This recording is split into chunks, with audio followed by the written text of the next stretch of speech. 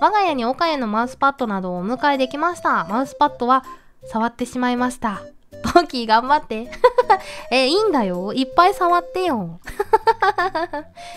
むしろいっぱい触ってほしいんだけどな、僕的には。その覚悟は持ってね、マウスパッドは販売してますので、恥ずかしがらなくていいよ。いや、いいに決まってるじゃないか。そりゃそうだよ。うん。みんなの僕だよ、だって。ねえ。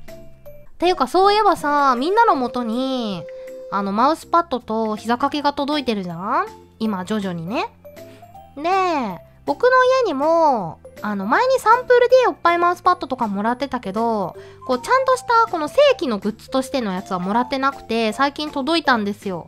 でも僕、サンプルの膝掛けとおっぱいマウスパッドで全然もう満足してるから、うーん、この新品誰かにあげようと思って。自分のやつだし。